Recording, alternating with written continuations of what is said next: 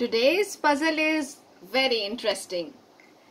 Here you are given 16 dots.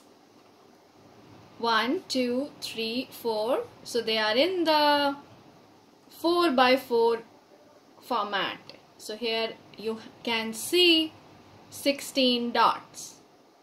Now the challenge is you have to join these 16 dots with the help of 6 lines. Your time starts now.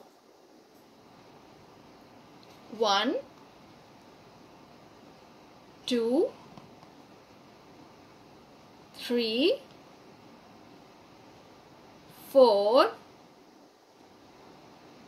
5 6 perfectly fine here you have noticed that I was lifting my pen.